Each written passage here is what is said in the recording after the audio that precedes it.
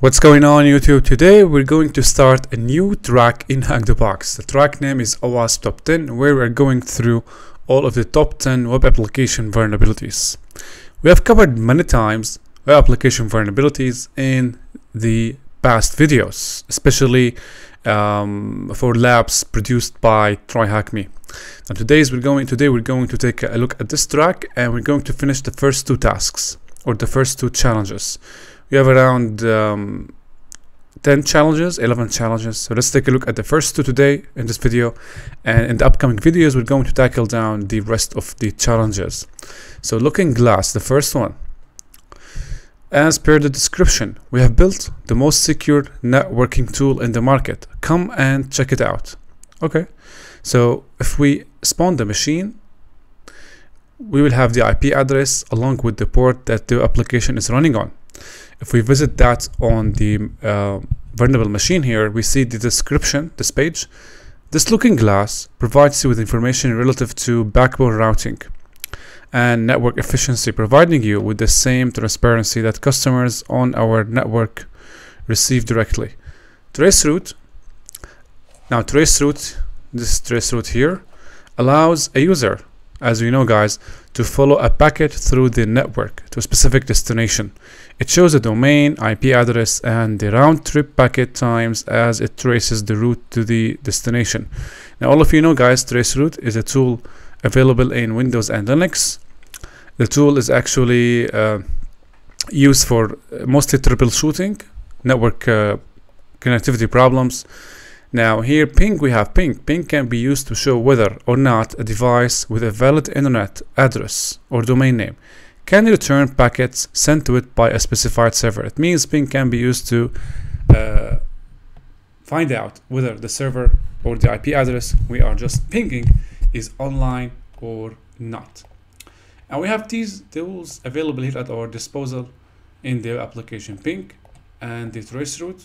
We have to specify here the server, server 1 for example, and the IP address of the server we want to trace route or ping. So if we test,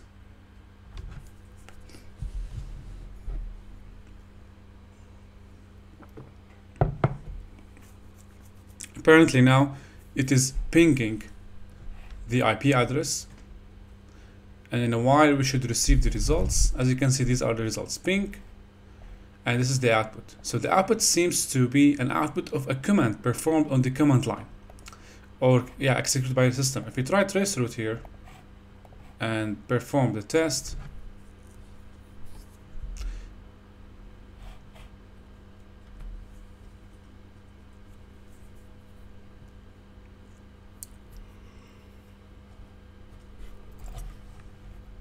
hopefully it won't take that much time in the meantime guys or in the interim uh, we can actually envision how this gets executed in the background or by the system.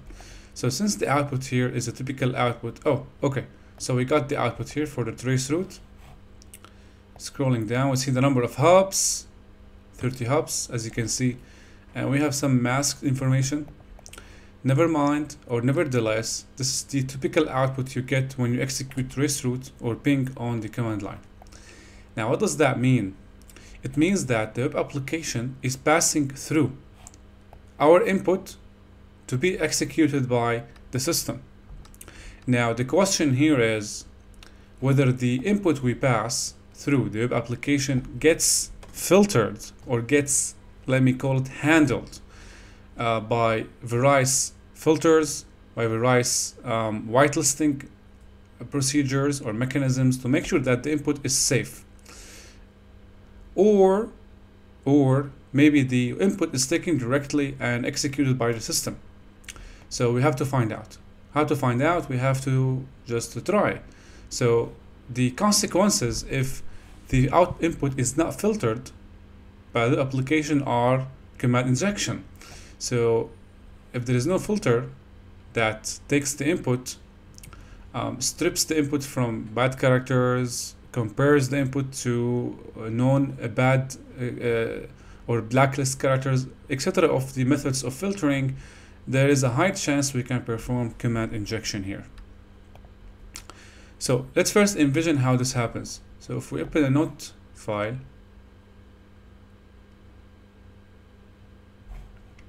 okay. So system typically this is how it gets executed. So we have a function system and inside the function we have double quotes okay? Ping dash c 139 59 189 170 make this bigger so that's normally most probably the function. We don't have a and we don't have an access to the source code but we are assuming that there is a system function here that executes this command. And this command uh, actually this is all passed to the web application. So if the input here which is the IP address is passed directly to the ping command and to the system function without any filtering it means we can perform um, command injection but how? Well we have to trail this. So the, in, in, in bash the semicolon or a, or the double ampersand indicates uh, that we can execute two commands followed by each other. So if we leave the ampersand here right and we put here like ls okay. So what happens here the ping command gets executed and because of an ampersand here with ls we can execute ls at the same time. So if we put ampersand here and ls and we choose ping let's see what's gonna happen. Right so this is the output of the ping command and we have a file named index. So this file has actually appeared in the output due to the fact that we uh, due to the fact that the command injection represented by the ls command has been successfully executed. So it means here we have um, command injection vulnerability. So our job here is to find the flag the flag file. Since there are, there is no flag file here we have to do it other way. So try this ls and then we try to list the contents of the root file system or the root directory.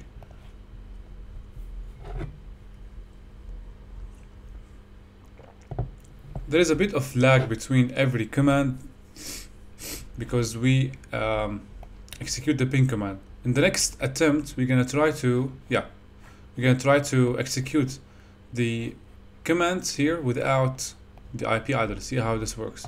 But it's not gonna work, I guess is the, the output or the tool will complain about bad input. So we have to put the IP address. Okay, these are the contents. And as you can see, we have a flag here. If we try or if we attempt to read the flag, we can attempt to read the flag using, again, we have the semicolon, cat. This is the file name. What to do here, we have to specify directory and the file name. Let's see.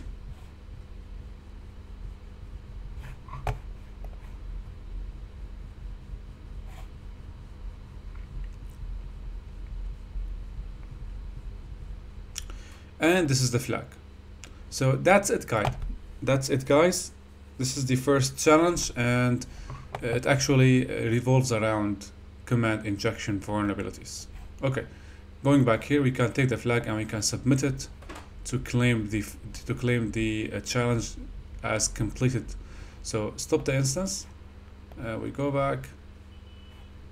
Now on to sanitize. Start the instance.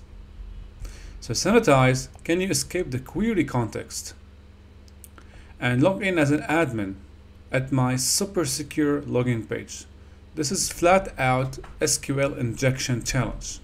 Because we have a query here. I have to escape the query judging by the query and login as an admin. So if you have a form and you are required to log in as an admin, given that there is no brute force, there is no cross-site scripting, there is no CSRF, well, SQL injection, right? So let's take the IP and navigate to the page.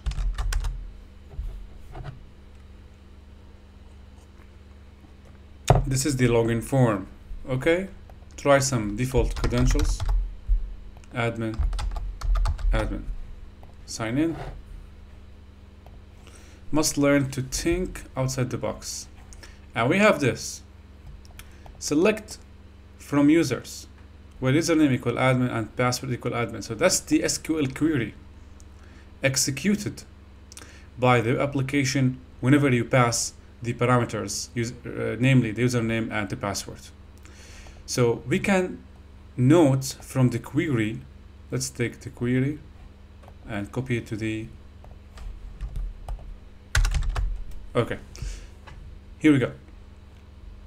So the parameters, namely the username, the value is admin and the password, the value is admin, are taken directly from the input without any filtering uh, without any parameterized query to protect against SQL injection. It means whatever input we pass to the login form, it is taken directly by the SQL statement or the select statement here and gets executed by the database. So it's your chance to try SQL injection here.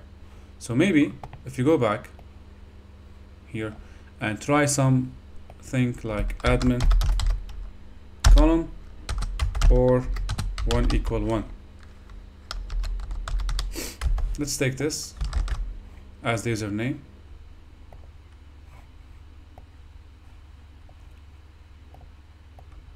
so if we pass this in the input as username that's how the query looks like.